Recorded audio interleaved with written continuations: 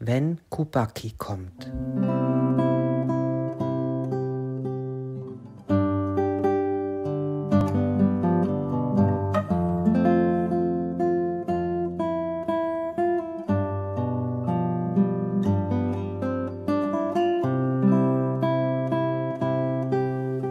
Nick und Annie spielen hinter der Scheune. Großmutter ist eingeschlafen. Da streckt ein merkwürdiges Pferd seinen Hals über den Zaun. Es gehört dem Trödlersepp und heißt Kubaki. Hey Kinder, fragt er, kommt ihr mit? Ich kann euch die ganze Welt zeigen. Wo ist sie denn, die ganze Welt? Hier, gleich um die Ecke. Und schon folgen sie Kupaki.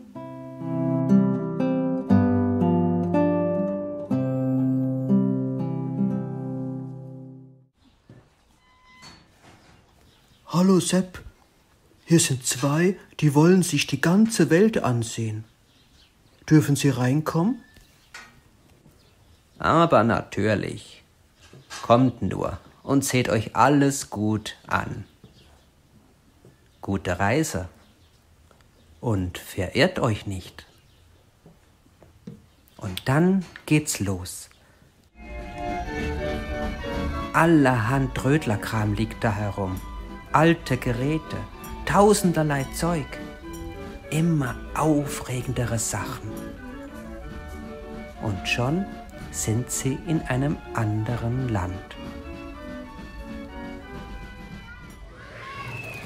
Was für ein Lärm und Geschrei hier in Belkanzonien. Zwei Frauen schwätzen so, dass ihnen die Arbeit unter der Hand davonläuft. Sie hören auch überhaupt nicht, wie der kleine Sänger schreit weil jemand ihn ganz fürchterlich erschreckt hat. Nur mühsam kommen die Kinder durch den dichten Verkehr. In Baklavanien ist es gemütlicher. Hier sitzen oder stehen die Leute auf der Straße und spielen alle möglichen Spiele. Nick und Annie werden sofort dazu eingeladen. Und wie gern spielen sie mit. Kubaki natürlich auch. Er ist ein prima Schachspieler. Dann kommen sie ins Land der großen Ströme und der langen Brücken. Hier kann man baden, ins Wasser springen, rudern, tauchen, planschen und wer weiß was sonst noch alles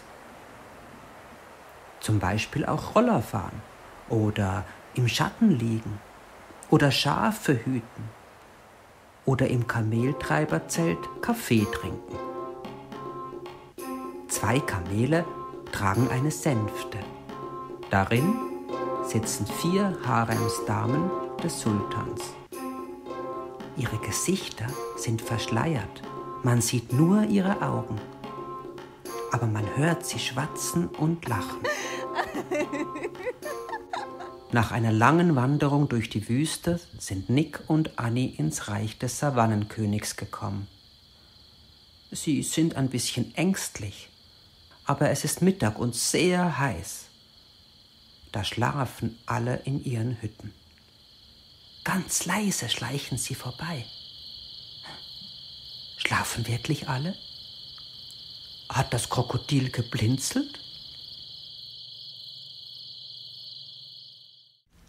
In Abu Saba baut man hohe Türme aus roten Ziegelsteinen.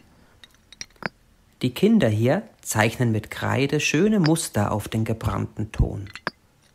Annie und Nick sollen es auch gleich einmal versuchen. Annie verziert die Dachterrassen mit kleinen Steinchen und Nick baut die schönsten Häuser. Und was tut Kupaki derweil? Er sammelt alle Kinder ein und lässt sie abwechselnd auf seinem langen Rücken um die ganze Stadt reiten. In der alten Stadt Planigrad ist der größte Jahrmarktsplatz der Welt. Und eben wird wieder ein großes Fest gefeiert. Überall kann man Karussell fahren, Buden besuchen und Schleckereien kaufen. Hier wohnt die Babuschka mit ihren Kindern, der Bär mit der Kanone und Petruschka, der so schön singt, dass den Leuten vor Glück die Tränen kommen.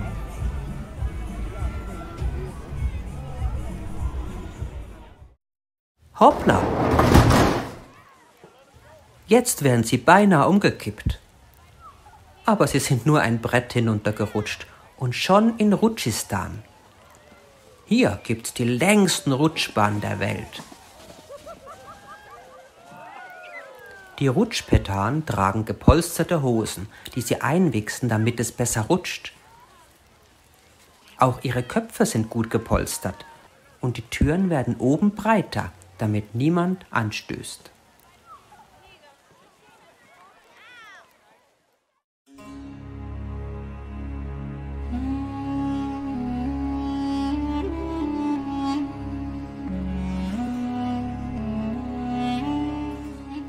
In Maharadschien findet eben eine Elefantenprozession statt.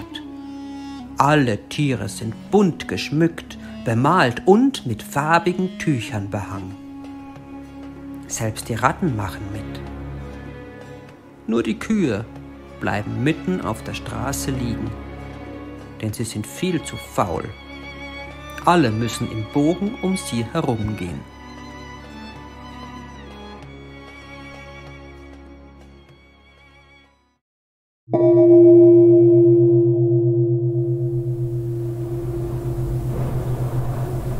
Immer höher sind sie gestiegen bis aufs Dach der Welt. Wenn man hinuntersieht, wird einem ganz schwindlig. Aber hier kann man gut Papierflieger loslassen.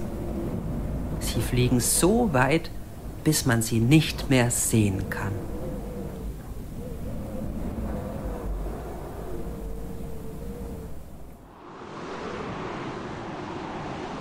Kinder im Drachenland haben ein anderes Spiel. Weil es wenig Häuser gibt und viel Wind, kann man wunderbare Drachen steigen lassen. Es gibt ganz einfache und ganz komplizierte. Und man braucht eine lange Schnur, damit sie hochsteigen können, wo der Wind am stärksten weht.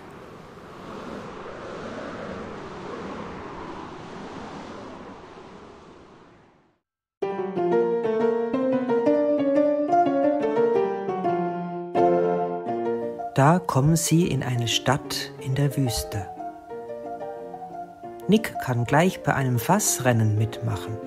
Annie spielt inzwischen den Sheriff und Kopaki muss auf langen Stelzen gehen, dass er alle anderen Pferde überragt.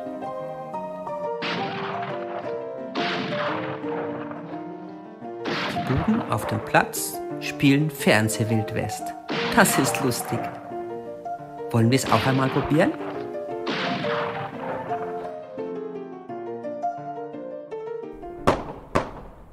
Knallen muss es und knattern soll es in Hexingkaktepetel. Und immer wenn so ein vergoldeter Popanz in der Luft explodiert, klatschen die Leute und werfen die Hüte in die Luft. Sie tanzen den ganzen Tag und die ganze Nacht. Und die Nachbarn von Mula Sattelpek kommen zu Besuch und tanzen mit.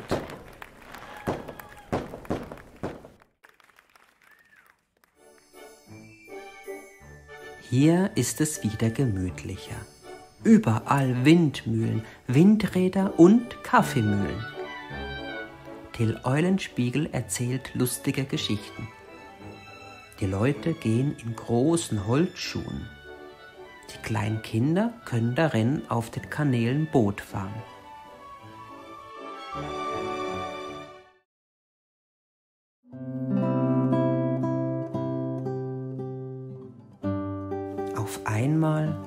Kommt ihnen die Gegend bekannt vor. Und plötzlich stehen sie vor ihrer Großmutter, die eben aufgewacht ist. Kinder, ich glaube, ich bin eingeschlafen und habe etwas ganz Komisches geträumt.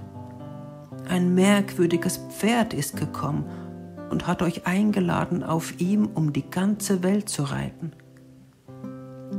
Habe ich jetzt nur geträumt oder ist das wirklich passiert? Dumme Frage, tönst da plötzlich vom Bach her. Der Enterich kommt angewatschelt. Wenn Kubaki kommt, träumt man nicht. Alles haben wir wirklich erlebt. Die Kinder sind erstaunt. Was weißt denn du von unserer Reise, Enterich? Du willst dich wohl nur wichtig machen. Alles weiß ich, sogar mehr als ihr weiß ich. Und dass dem Häuptling vom Trapperland eine Feder fehlt, seit wir da waren, weiß ich auch. Hier ist sie. Erstaunt betrachten die Kinder das Beutestück. Eine echte Häuptlingsfeder? Wir müssen sehen, ob dem Häuptling wirklich eine Feder fehlt. Wir müssen die Reise bald wiederholen, meint Nick. Oh ja, sagt Annie. Und wann? Bald, wenn Kubaki kommt.